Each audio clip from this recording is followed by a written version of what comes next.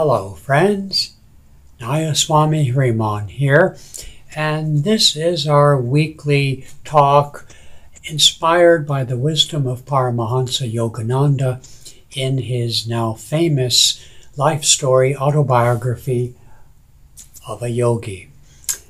The one thing needful is what I call this today, and I'd like to quote a poem that Yogananda quotes in chapter 7, a chapter called The Levitating Saint. And uh, let me read the poem to you. He writes first by way of introduction Mirabai, a saint in India, medieval India, a female saint, composed many ecstatic songs which are still treasured in India. I translate one of them here. If by bathing daily God could be realized, sooner would I be a whale in the deep. If by rooting, eating roots and fruits he could be known, gladly would I choose the form of a goat. If the counting of rosaries uncovered him, I would say my prayers on mammoth beads. If bowing before stone images unveiled him, a flinty mountain I would humbly worship. If by drinking milk the Lord could be imbibed, many calves and children would know him. If abandoning one's wife would summon God, would not thousands be monks? Mirabai knows that to find the Divine One, the only indispensable is love. You know, I think of all the many books I have read and uh, about theology and cosmology, cosmogony, all the scriptures. I have read alone, what to mention, all the scriptures in the world and all the conversations and debates and countless number of books, uh, all the heresies and you know synods and conferences and uh, all these things down through history, east and west throughout the world as we debate the niceties of our spiritual and religious beliefs and rituals and symbols. Uh, I think all of that has its place and is interesting enough. I, my own life uh, deals with a, a fair amount of it, but the one indispensable thing is the love of the heart.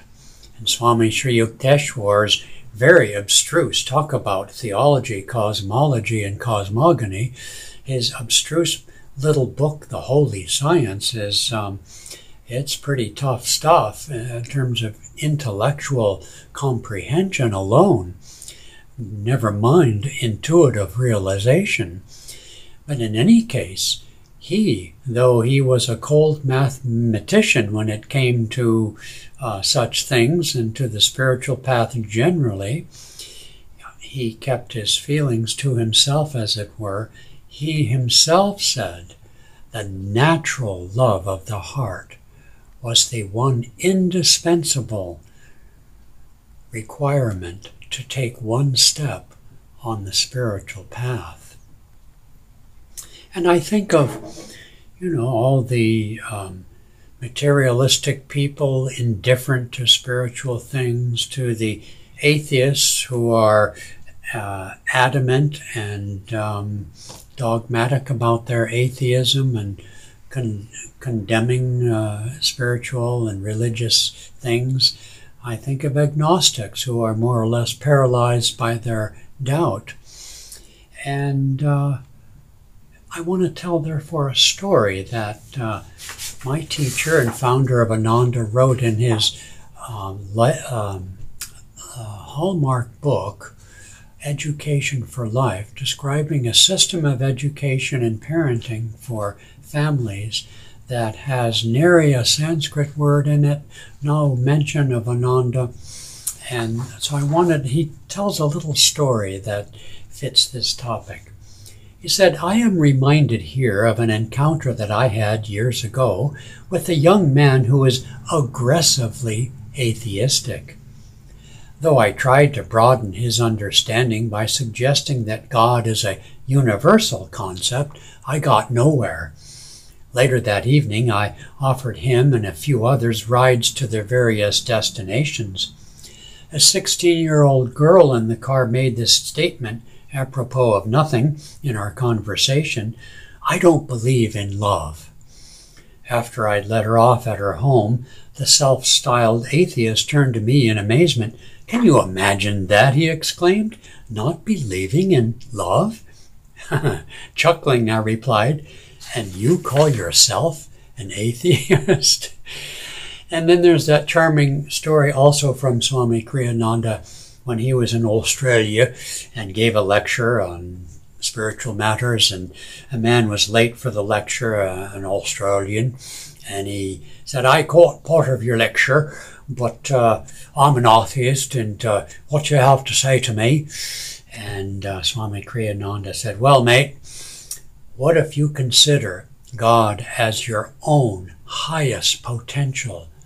That person that you could be in its greatest uh, way, virtuous, whatever. And the man re- thought for a moment and he said, Well, mate, I can live with it. And so it was.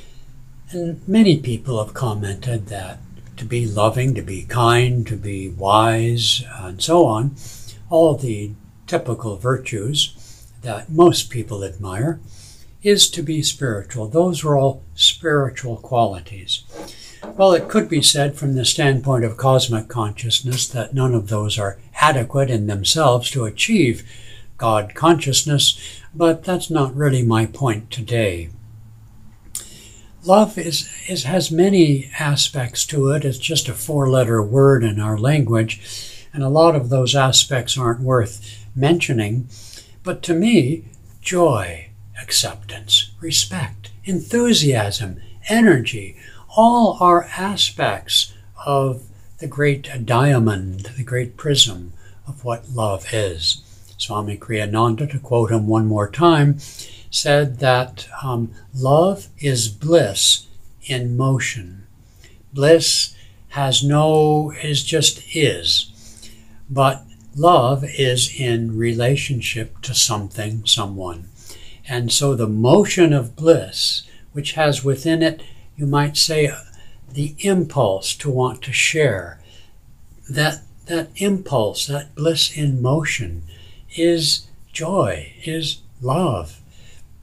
And if we look at the world around us, you could be an agnostic or maybe even an atheist and look around and with awe and wonder at the universe, at the beauty of nature and the magnificence of, of all things created, at art and architecture and science and the great deeds of humankind, all of those inspire an expansion of consciousness that has, I think, at its, at its source, an expansion of heart energy, which I will call love. The one thing needful then is love, and it will guide us. All right joy, and love.